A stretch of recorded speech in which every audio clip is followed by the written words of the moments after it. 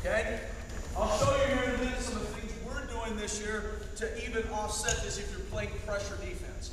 This is what I want you to think about. If you have an interest in this, if you don't, just siesta or whatever you want to do, that's fine. But if you have questions, you're going to say, well, what do you do against pressure, coach? Well, what do you do when they take this away, coach? Well, what about, do you ever throw to the corner, coach? If I miss something, feel free to ask. Because I tell you, we used to run this with literally fifth and sixth graders.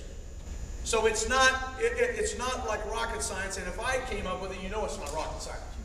It's pretty simple. You got to be able to understand it. When we come down, if they're not pressuring us, very simple. We're going to throw to the wing. What's going to happen is, and this is the terminology, she, Renee, is making what we call a slash cut. She's going to slash right through the lane. As she does that, Nisi time it, and she's making, not to be crude, a butt cut. She's cutting right off of Renee. As that's occurring, Jordan's coming to the top. So we're looking for Nisi on this little cut. She's going to circle back out. We're going to reverse the ball. Pass there, same thing. Run this for a couple times, girls. This is the this is kind of the, the formula right here. Good. Good. Reverse it one more. Score it.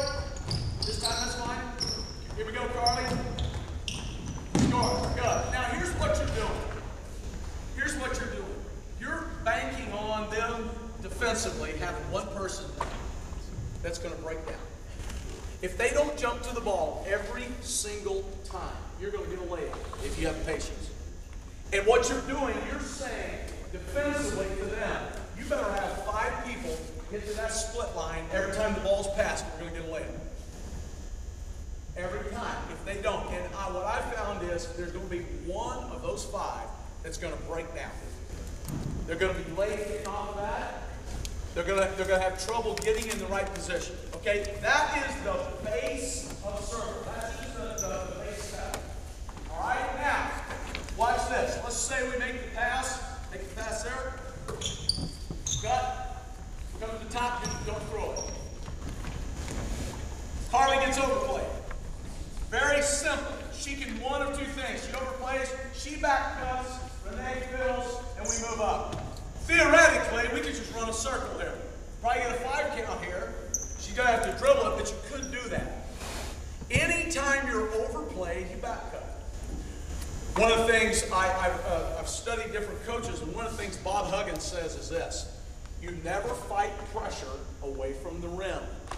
You always fight pressure at the rim. And think about that. If you're getting pressure, what's the easiest thing to do? Drive it to the rim, pass it inside, all cuts to the rim.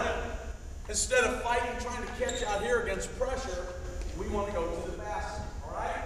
Here's another thing. Let's say Carly comes up and she doesn't back cut. What's going to happen? Any dribble at a, at a player, back cut.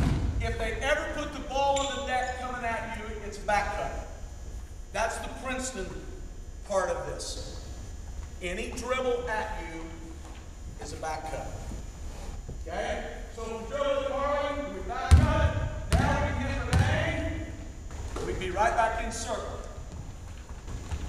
Okay? Stop. This time, Nisi is covered.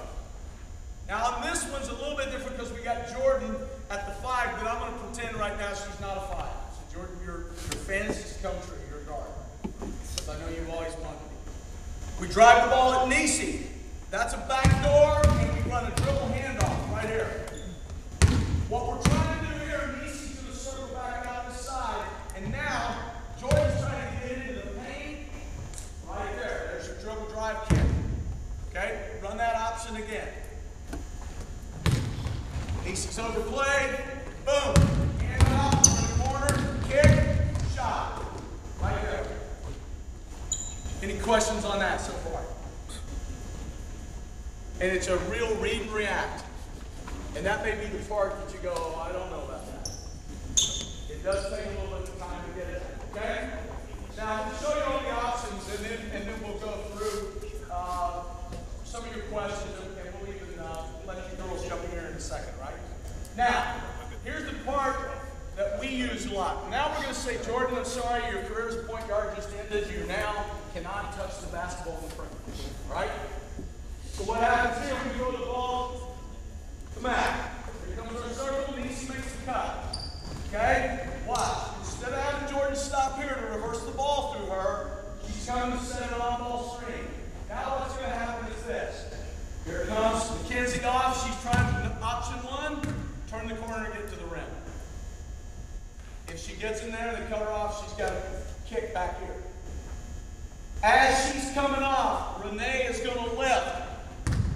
Let's say they do a good job of hedging. Now we're going to hit Renee. Who will make the pass right there? To Jordan. Okay? Run that option. As they're doing that, this is this is something if you ever watch it in the NBA, Dwight Howard, they do a lot of this with him. They make the extra pass to get him on the pick and roll. Here we go. Here we go. Ball. Lift. Right here. Bang. And that's over the lot because as the ball comes to Renee, Nisi's man has to get out of the lane. Otherwise, we're going to swing it to her. She's going to have a shot. Or we throw it to her. Let's make the extra pass. Let her make the pass. Got it? Here we go. Get out. On ball. Get out. Swing it. Extra. Right there. You got it on the post up. Okay? Now, Betsy, come on here. I want you to guard, guard uh, everybody, but uh, it says you don't guard Renee. I want you to walk through that option again. Watch, let's literally walk through. Okay, I want you to hitch really high. Okay, here we go. Here comes a sprint. Watch. And this is what we work on. We break this down. If this is a high hitch, a high hitch, the problem is, and these girls do this too, they try to get the pick and roll right here. Well, here's the problem. Morgan should be on the split line, and I'm on the split line guarding Renee. There's no way that they're going to be able to throw the ball to Jordan on a pick and roll from there. Not a great angle. I understand that. It's not the purpose of it. We're going to get her open by moving the ball this way. What I want Mackenzie to do is attack the hedge man. She has got to make the hedge man guard her. So even if she takes a dribble into her and has to then lift, she drags her just a little bit. Now Renee lifts because I've got to give help right here. Now I go get her, swing it, Morgan goes gets her, and we've got this. As long as the help side doesn't run over here and cheat it, you're going to have that opportunity to get that pass. Okay? Now, watch this. Jordan, turn it at the side. Here we go. Pass. Okay, stop. Now, this time, let's say maybe they use this player to this a little bit more. What we're going to do as, as Mackenzie comes off, and this is this is a constant, Renee's going to lift, and now we're going to do this. Take the dribble hard, throw back. This is called a throwback. The thing that works so well in this is you catch the hedge man high, you throw behind them, and you get the ball to Jordan. Remember when I started a minute ago, I said it's five out, zero in, but we're diving people in here. Here's what I found. You got a good post player, put them block to block, what, what's going to happen to you all year? They're going to double team, aren't they? Most of the time, they're going to get down in there, they're going to double, they're going to put one in front, one behind. Well, what we found is this. If you can get your close player and have any mobility at all, and you got to think they're going to be as mobile as a person guarding if you sprint this screen, think over the course of the game how hard that is to get out there and hedge every time. I have to be disciplined as a defender to sprint with Jordan stride for stride every single time, or else I'm going to be late.